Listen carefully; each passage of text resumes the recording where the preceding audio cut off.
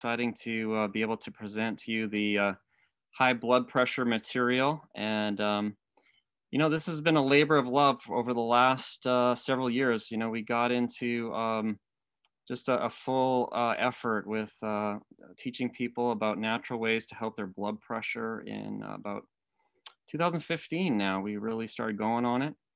And it was uh, myself, Dr. David DeRose, and Trudy Lee who uh, joined together and um, came up with the uh, the idea with the book, and we went ahead and um, uh, um, put it together. And it took some time to uh, do that, but um, I'm so glad that we did, and um, uh, it's it's going to be a pleasure to share with you. I just want to share with you my phone number. If any of you have any uh, any concerns, anything you want to talk about, I know I don't know several of you well at this point, but um, want to get to know you better. And uh, if you have uh, questions about high blood pressure, etc., you know, please uh, please feel free to share those with me. Um, there's my phone number. Also, um, certainly uh, share those with the table hosts, and um, and I, am uh, always available um, in that regard. Um, I have a background as a family physician and also in preventive medicine and uh, um, have a master's in nutrition and, have enjoyed uh, uh, teaching and, and, studying nutrition for a long time. Here's my family, uh, my beautiful two kids and my wife, and hopefully things will stay quiet in this uh, rambunctious ho household while I'm uh, talking to you. But if you hear any noises, that's them, and uh, it's just part of the household activities. Here's the book, and um, if you miss something or, or, or don't catch something, um, it's certainly available there. And um, we're excited to be able to uh, uh, give you this book if you come to all four presentations and, and uh, we'll give it to you at the end. So let's go get into our talk now. So let's talk about high blood pressure in the United States. And, um, you know, high blood pressure is a big problem throughout the US. It's especially a problem in the South. Um, Tennessee is right in the middle of it. Um, about a third of um, Tennessee uh, folks have high blood pressure, a third, one in three. It's pretty phenomenal, and uh, it's, it's uh, uh right up there with um, the other states uh, in, on the southeast part of the, the uh, continent. As you get older, your blood pressure goes up. Um, that's what this slide shows. Um, here's the percentage of people with high blood pressure, and you can see as the age um, changes, the the blood pressure uh, frequency goes up. So, uh, you know, why is blood why is blood pressure dangerous? You know, um, it reminds me of a story of, you know, my uh, um, patient who um, had just moved. Uh, this was when I was living on the West Coast. Had just moved over from the Midwest, and his wife had urged him to go to quit farming and move because he was having health problems. He was having high blood pressure and diabetes, and and uh, a lot of uh, uh, issues with that.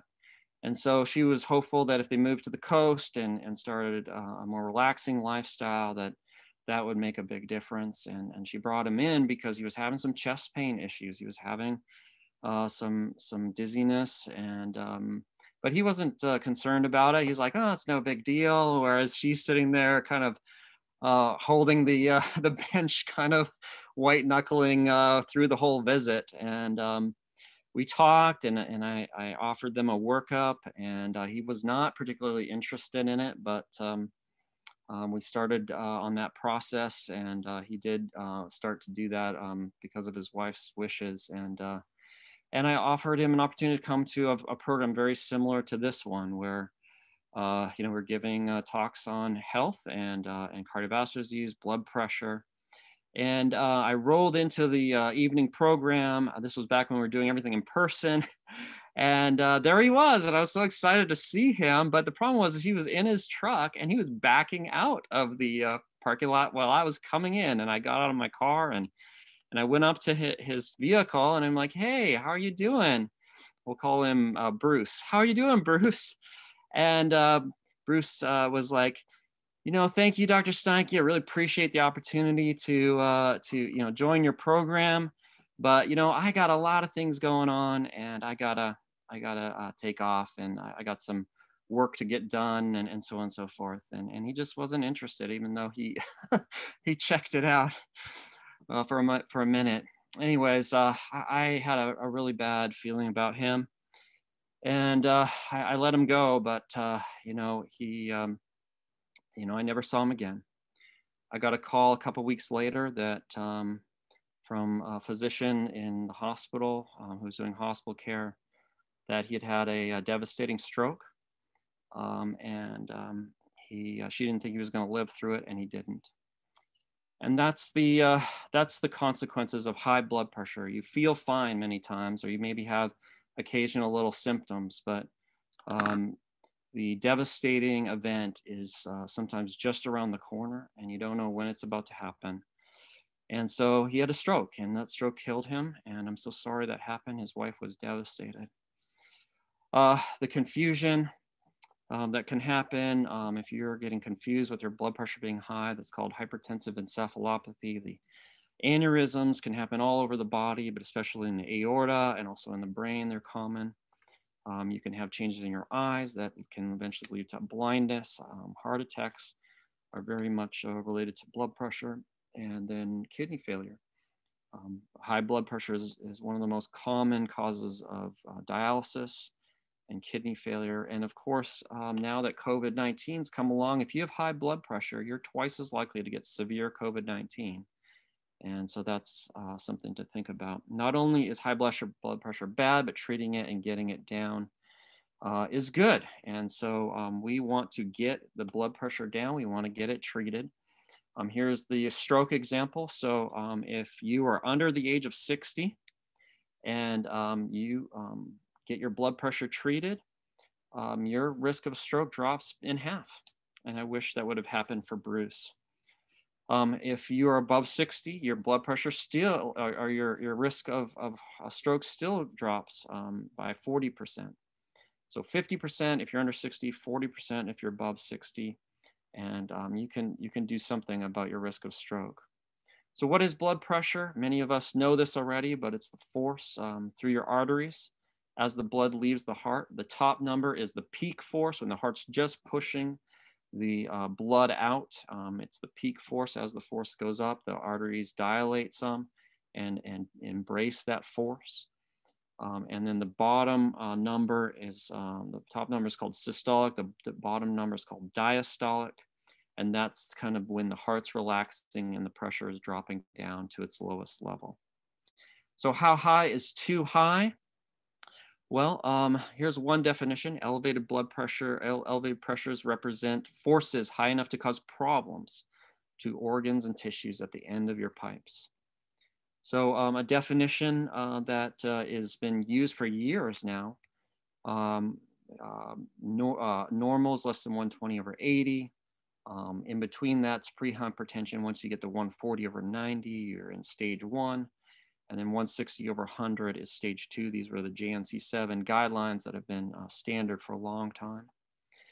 Um, uh, recently, um, the uh, American Heart Association um, did some adjustments, feeling that, that, people should get their blood pressure even lower. And we'll look at some of that data so you understand some of the nuance there. But um, there are some drawbacks to that, and it hasn't been fully embraced by the medical world by any means at this point. All right, so here's an example uh, of many examples like this. Um, here's the Mr. Fit study, uh, a trial that was very large, um, looking at um, the uh, risk factors related to um, heart disease, um, for example, heart disease death in, in this case on this uh, um, slide. And so you can see as the blood pressure comes down, so here's the kind of the higher level, 151 over 98 uh, at, at decile 10. As you move down the deciles, your blood pressure drops. And so your blood pressure, um, you know, your risk of a heart disease death is, is lowest when the blood pressure is the lowest. And so that's the general principle is, is, you know, you want your blood pressure lower if at all possible. And Mr. Fit uh, showed that this was, there was no medications used. It was just um, showing the, uh, the uh, associations um, with uh, heart, heart disease death and what the people's blood pressure was as they were going through the trial. Um, here's uh, the same trial looking at stroke death. And this uh, is even a greater um, kind of uptick as you go through the 10 deciles. Same blood pressure numbers. You can see the systolic there, the diastolic on the bottom. and as your uh, blood pressure goes up, you got to have a significant increases in risk. You know, I mean, you wouldn't think 150 over 98 is all that high. Maybe it's a little elevated, but look at the risk of a stroke death, eightfold for systolic above 151. Um, and um, you know, for a diastolic above 98, it's it's more than a fourfold increased risk. So that's a big deal, and that's something that uh, we need to pay attention to. You know, getting your blood pressure down into these areas here is is ideal, and your risk starts to go up as soon as you're above 120 for sure. But um, the lower, the better. Um, within within reason, of course. You know, don't, you don't want to be dizzy. You don't want to um, be cold all the time because low blood pressure tends to make people a little bit feel a little cold in the hands. And uh, so, but it does lower your risk of, of stroke and heart attack. So what causes high blood pressure? This has been a phenomenon of study for a long time. It's definitely been something that's not been easy to tease out. Um, for most uh, cases, there's no obvious treatable cause. You can't just pin it, your finger on one thing and say, that's it. Um, and so they've called it essential, meaning that it's it's you know multiple kinds of things uh, going on. Usually there's genetic uh, underlying issues. Many times there's intrauterine issues. So that's in, in the womb when you're a little baby. Um, there's things that may have happened there that set you up for blood pressure. And then of course, lifestyle environmental factors are playing a, a big role as well. But you know, there's an important message that I want to tell you is that two people might follow identical lifestyles, but due to uh, different inherited tendencies, one may have high blood pressure and the other may not. And so keep that in mind. This is um, a big uh, point. Why some? Why are some at particular risk for high, hypertension? Well, um, it, it has a lot to do with the kidneys. The kidneys are the usual culprit. And when you're in utero, um, how your kidneys develop play a big role. They learned a lot about this from kidney transplantation. If you have a person who needs a kidney transplant, their blood pressure will change based on the person who gives the kidney. So whatever the person who gives the kidneys blood pressure was, now the person who received the kidney, generally speaking, will have that new blood pressure level. So um, that's that's a very common phenomenon that they see in kidney transplantation, and it taught us that the kidneys have a lot to do with this. Um, you know, again, problems in utero, eh, the intrauterine growth restriction issues. Um, you know, if you're a very small baby, um, that pl plays a role. And um, um, the issues related to um, the third trimester of gestation uh, is, is when your nephrons are formed. These are the the little tiny uh, units that filter the blood. There's millions and millions of them in your kidneys. And um, depending on how many you start with, um, as those break down through your life, um, they play a big role in uh, when, when, you get high blood pressure in many people. All right, so that's uh, that's very important, and they less of the nephrons develop when you're stressed, when the baby's stressed. So if mama's stressed or baby's stressed for some reason, um, there's something called uteroplacental insufficiency, where there's an inadequate blood, uh, blood flow from the mother to the fetus. This stresses the fetus, and if it's happening in the third trimester, it's playing a role in their nephron development, the, the little little units that develop. And of course, um, this is a, uh, a, function of the stress hormones like uh, glucocorticoids and, uh, and uh, you know, cortisol and so on. Okay, so um, because of those factors, um, although we'll be looking at lifestyle and other natural therapies, and they're very important, the presence of hypertension does not necessarily mean a person is following a poor lifestyle. So if they have high blood pressure or hypertension, it doesn't mean that they're not um, doing their best to follow a good uh, lifestyle. And you know, can we can we all learn more? Yeah, absolutely. We can all do better, but um, you know, it doesn't mean that that they're just totally flunking out. Um, so how, uh, how well are Americans doing at controlling their blood pressure? Well, um, this is from the NHANES uh, data. This is a national survey that's done every year um, on, um, on people, um, and they collect the data and then um, submit uh, reports on a regular basis on various topics. And when they looked at the blood pressure, you can see that the awareness of people as you go from the 1970s into the 2008 uh, was the last one that we had on this um, that I've seen. Um, your awareness has been improving, the treatment's been improving. This is percentages, um, percentage of people.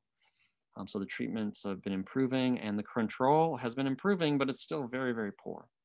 And so if you have 50% of people controlled, that's still not uh, all that great, is it? And so what, what's the reason? Why are, are people a lot less uh, controlled than we would hope for? You know, I mean, if people are treated, why aren't they controlled too? You know, why, why aren't these the same?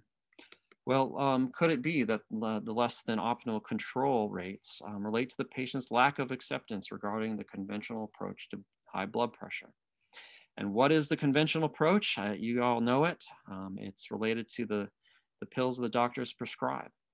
And although the experts recognize over and over and over that lifestyle is powerful, um, the focus um, and the foundation um, almost always is the medications.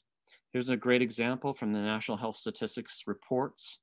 Um, this whole article from September 19, 2017 looks at primary care physicians and um, uh, visits with patients diagnosed with hypertension. And you could read this whole thing and there's really no focus at all on lifestyle. The whole focus is on medications and how well patients are taking them and what ones are taking and so on and so forth and how often doctors are giving it.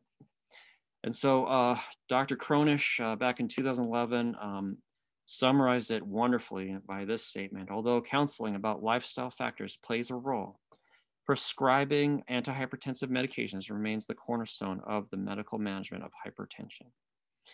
All right, so um, what is the biggest problem of, of uh, you know, blood pressure therapy? There you see it, I, I clicked it up too soon there. Anyways, the most common problem um, is that there are symptoms related to taking the medication so often, side effects, uh, frequent urination, fatigue, dizziness, cough, exercise issues, sexual dysfunction, depression.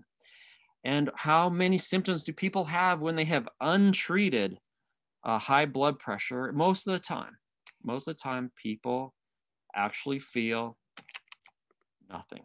They feel nothing. They feel just fine, thank you. And so if they go from this to feeling worse, that's not a great incentive to uh, continue the medication and so on. And so it's, it's a battle. Um, here's an example of the adherence rates of the medication. So here's different classes of medication. Um, you can see that uh, some of the classes, the beta blockers, very poor. The uh, angiotensin 2 uh, receptor blockers like losartan and, and telmisartan, et cetera, much better.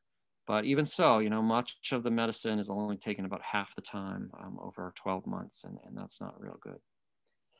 All right, um, you know, having said that, there are dangers with overtreating um, high blood pressure. This has been a long-term debate going on in the medical literature. There's been, you know, many, many, many trials, many, many observational studies um, seeing the same uh, kind of effect where as you bring the blood pressure down with medication, so this is with medication now, um, it, it does quite well. And then there's kind of a, a nadir, um, usually around 130 with the medication. And as you pull it down too far for these patients who are on medication, you actually begin to see an uptick in, um, in cardiovascular deaths, heart attacks, strokes, heart failure. And so um, that is a, an issue, and, um, and that's, uh, that's something we need to consider. And so, in other words, the common solution for high blood pressure, as in medications, may create more pressure than the hypertension itself. Could there be a better way? Well, of course, there's a better way. You know, medications have their place. There are certainly people who need to take medications. But um, if you're not optimizing and full and fulfilling the potential of the uh, better ways, the other ways, um, you're not um, uh, meeting the, uh, the, the benefits that you could achieve. And so could there be a no pressure solution? And that's our book, uh, The No Pressure Solution to Blood Pressure and it's a framework. Uh, it's an acronym and it's a framework to give you um, the general structure of areas that we found um, during our research to uh, be quite helpful to lower blood pressure. So here's our, uh, our, um, our acronym, no pressure, nutrition, optimal choice of beverages, physical exercise, rest, environment, stress management, social support, use of natural adjuncts, refraining from pressors and excesses, and exercising faith in God. So during our program, we're going to go through each of these uh, topics and we're going to look at the research and um, we're going to do our best to teach you something about uh, these things. All right, so, but there are a few ground rules that you need to know when it comes to natural medicines, natural therapies, natural remedies. You know, if you're on blood pressure medicine now, never abruptly stop the blood pressure medications. There are certain blood pressure medications, if you abruptly stop them, you will just have a spike in your blood pressure and you could have a heart attack just from that. Um, that has happened. It's called rebound hypertension. Um, eliminating other drugs has on occasion triggered heart attacks. So that's what I just said. So that's uh, really important. It is best to inform your doctor if making significant lifestyle changes. So if you're learning things in this program, you decide, you know what, I could do a lot better. I want to do a lot better. And you start making significant changes. Um, it's very important that you tell your doctor about it and that you monitor your blood pressure very carefully. We recommend in our book to check three times a day while you're ch- making changes to make sure your blood pressure is not dropping too quickly. And if it is dropping, you know, you can rejoice. That's excellent. But uh, we want to make sure that uh, the medications are being adjusted appropriately. Okay, and um, also remember um, the power of addition. You know, um, we're going to be talking about many different therapies that, in and of themselves, the research often shows that there's only a few point benefit, maybe, maybe five points, maybe 10 points sometimes. But as you pull all these things together and you start to, in a more global way, improve your physiology so that your body takes care of the blood pressure itself, um, you begin to um, have a, lot, a much larger impact. And this takes some uh, weeks sometimes to pull all these uh, lifestyle changes together. And so um, that's really important. So you say, for example, you have natural remedy A that lowers blood pressure three points, uh, you know, on the systolic, two points on the diastolic. You have B, natural remedy B, that lowers systolic blood pressure four points, um, and then diastolic blood pressure only one point. And then you have natural remedy C, lowers uh, systolic and diastolic blood pressures two points. Well, let's take those all together. You might think, well, then that's just additive effects. You just add it up and that's what it's going to be. But in fact, what we find often is that it's not just additive, it's multi- multiplicative. And uh, you know, you instead of getting a nine point and a five point improvement with the added effects, you often will get a 13 and 10 point improvement, uh, for example, um, when you add things together. And so that's a really important point. Okay, so we're going to look at the first two this uh, uh this time, and uh, we'll cover some of the details with that, and um, um, then we'll, we'll uh, um, um, end our talk. So three key nutrition principles. So um, not principle number one, very, very important, increase plant food consumption. That's why we're going to have a cooking demonstration, a, a little, little video for you with uh, Rachel um, every time, because we want you to learn something about uh, increasing your plant cons food consumption. Find ways to improve and increase what plants you're eating. Um, control calories, you know, um, make note of, of, where the calories are and, um, you know, start, uh, start trying to um, cut back on, on really uh, problem foods, problem areas, and see if uh, some of the pounds can uh, improve uh, for those who need it. And then uh, decrease salt intake. Um, that's uh, certainly important. And um, when you increase your plant food consumption, you get more potassium and you lower your salt intake. They work hand in hand to really help your, your blood pressure. So let's take a look at the plants. Um, so do the typical diet practices make a difference? So um, this is a, a, very important study, a very large study an NIH funded study on the Adventist Health Study 2. The Adventists are a very uh, unique bunch because um, about half of Adventists eat meat and about uh, uh, uh, most Adventists do not smoke or do not drink. And so um, some of those confounding variables are not present, but it gives, but there's a wide variety of different diets within the Seventh-day Adventist community. And so it's a great opportunity to study the science. And so you can see here that um, um, when it comes to uh, hypertension, let's look on the, on the right part of that graph. Um, the risk of getting high blood pressure um, is different depending on the kind of diet you're following. So non-vegetarians um, had the highest risk of getting um, high blood pressure, and then semi-vegetarians, they are, are those who eat red meat, poultry, or fish less than once a week. They had a 25% reduction in getting hypertension. And then those who had um, uh, were uh, fish, you know, pesco vegetarians, um, were at about a 40% reduction in getting high blood pressure. And then uh, the lacto vegetarians had about a 60% uh, reduction in getting blood, high blood pressure. And then the vegans did the best. They were eating the most of those whole plant foods and they had an 80% reduction in getting high blood pressure. Diabetes was exactly the same, very similar rates on that. And so um, a, a, really, really important uh, point uh, in some 90,000 people, very large study looking at this. And so there's been many studies now uh, looking at the value of uh, a whole plant-based diet, a largely vegetarian diet. And so um, here's a summary article um, from Berkow and Barnards um, saying uh, the following. After reviewing 80 scientific studies, doctors Berkow and Barnard concluded randomized clinical trials have shown that blood pressure is lowered when animal products are replaced with vegetable products in both normal normotensives and hypertensives. And uh, here's a, a, a, large systematic review. So a very important uh, research study um, looking at many, many different uh, uh, uh, prospective studies in this case and bringing all that information. It's a huge job, bring all this information together to try to figure out what does the science say. So here in 2017, um, this group uh, went ahead and did it. And it's a fascinating some, uh, study. Um, to give you just the summary points, um, I, I, put together a slide for that. So here are the food groups that um, either worsen your blood pressure or improve your blood pressure. We know a lot about this now. So notice that the food groups that lower blood pressure, they're all plant foods, um, pretty much. Um, there may be a couple exceptions, but this is uh, largely the case. And then higher blood pressure is largely uh, animal products and sugar sweetened beverages. And so nuts, whole grains, legumes, fruits, and, and green leafy vegetables lower your blood pressure. Uh, you, you raise your blood pressure if you eat red meat, fish, processed meat, sugar sweetened beverages. People are surprised about fish. I was too. But, you know, um, fish ha has a lot of toxins in it nowadays, a lot of mercury, and it may have something to do with that. So um, that's, a, that's a great question why it's doing that, but it is a, a consistent finding.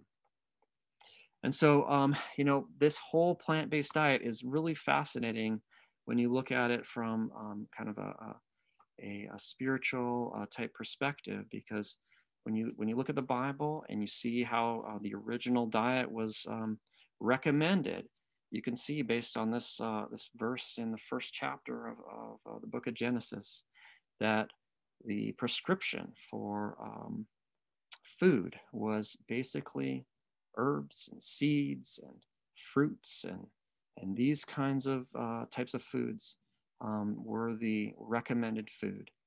And um, I think we do well to um, move in that direction. So why are plant foods so powerful? Well, um, dietary substances um, that are in plant foods relax your arteries. They make them get bigger. They go from being constricted to um, relaxing, and that's uh, that's very very helpful. So magnesium and calcium, uh, diets rich in magnesium and calcium give your arteries the ability to do this better. So green leafy vegetables, legumes, so the little tiny uh, legumes, the beans and, and so on, um, very loaded with magnesium. Green leafy vegetables are loaded with calcium and magnesium.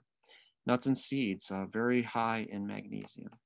Um, so nuts and seeds are healthy. They're not unhealthy. They're very healthy.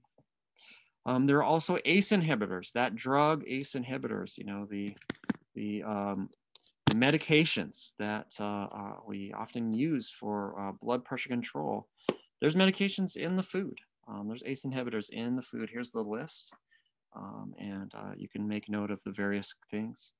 Um, you know, a lot of a lot of different things, a lot of variety of different things, from grains to uh, tubers to um, nuts and seeds, um, and so on. And of course, one of my favorite seeds is flaxseed. Flaxseed is very powerful for improving um, blood pressure. And this uh, study um, showed the same. Um, you know, um, basically it was a six month study and um, they ran, they, uh, it was, it was blinded. Um, they were able to hide the ground flaxseed in muffins and various food products. And the people had no idea which one they were eating and um, they monitored their blood pressure. And at the end of six months, this is what they found that the systolic blood pressure was 10 points lower, and the diastolic blood pressure was seven points lower in the flaxseed group compared with placebo. Um, whereas if they entered the, tri um, the um, trial and they had uncontrolled blood pressure, they didn't have it um, in, um, more stable. Um, and they just looked at those subset of folks. The reductions were even greater. It was 15 points uh, systolic and seven points diastolic.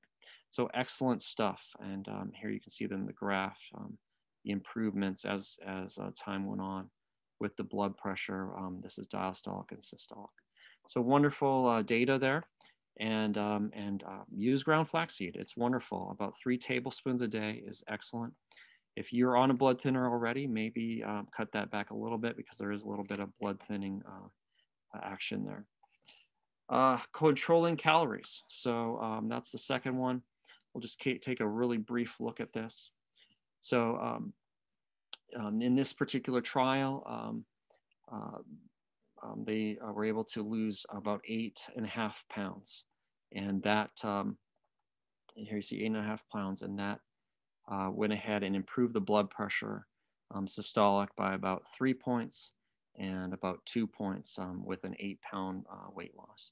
So, you know, as the weight goes off and as you get more weight off, um, you do uh, see an improvement. And of course, um, the sodium reduced in this trial as well.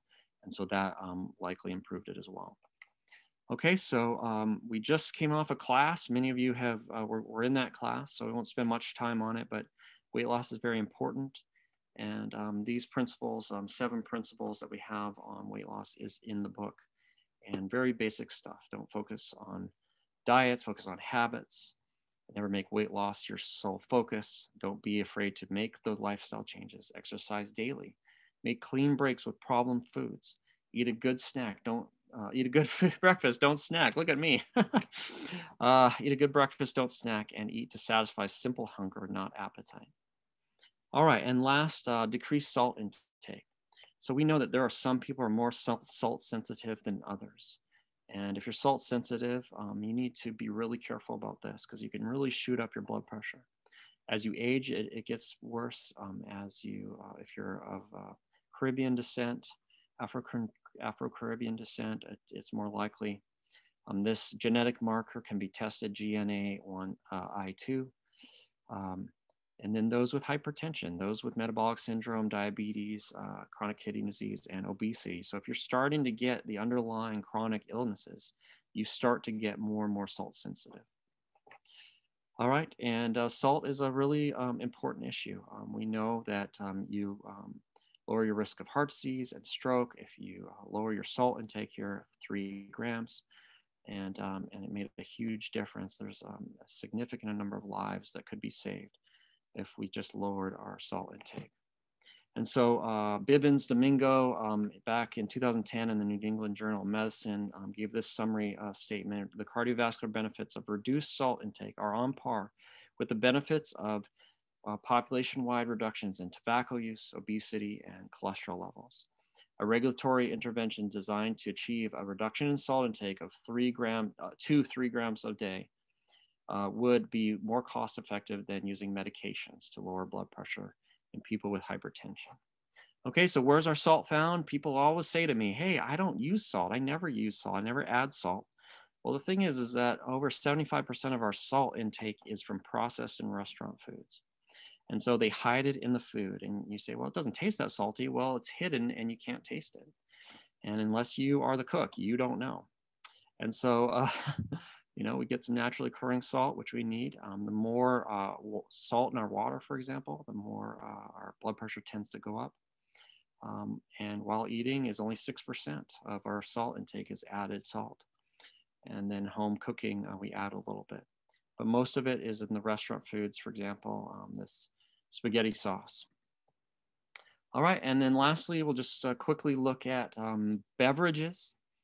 Um, so um, what is the best, what are the best blood pressure beverages? Well, definitely not alcohol. Um, alcohol um, uh, raises blood pressure, especially at three drinks or more a day. Binge drinking for sure. And even moderate drinking um, puts on calories, can make you gain weight, um, which will raise your blood pressure. And then if you're on blood pressure medications, it's not a good idea to um, drink alcohol because of the uh, interactions that can occur.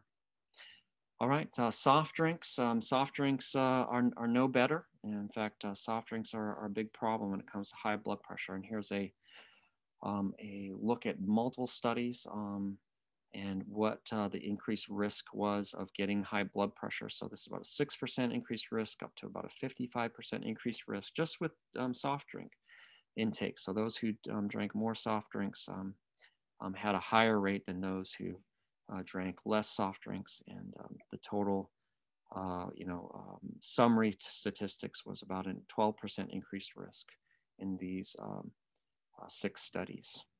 And so they were able to find a dose dependent effect in these studies, and that dose dependent effect was 8.2% for every additional soft drink a day.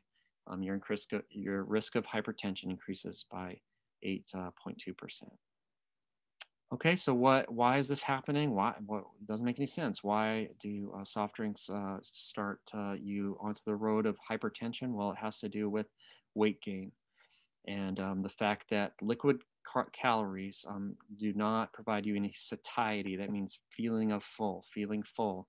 And, and therefore you don't limit any of your food at meals and you just add calories um, uh, separate from the meal or on top of the meal. All right, and so that's, uh, that's a really important point. So it's the weight gain and that's why um, you get um, blood pressure problems with soft drinks. So let's give an example. A 12 ounce can of soda packs 150 calories. 50 grams of sugar many times, 10 teaspoons of sugar uh, equivalent. And um, if you did that every day, um, where you added a single soda every day and you didn't uh, change your, your intake at all, you would gain 15 pounds that year. Um, just one soda in addition to what you need for your daily calories.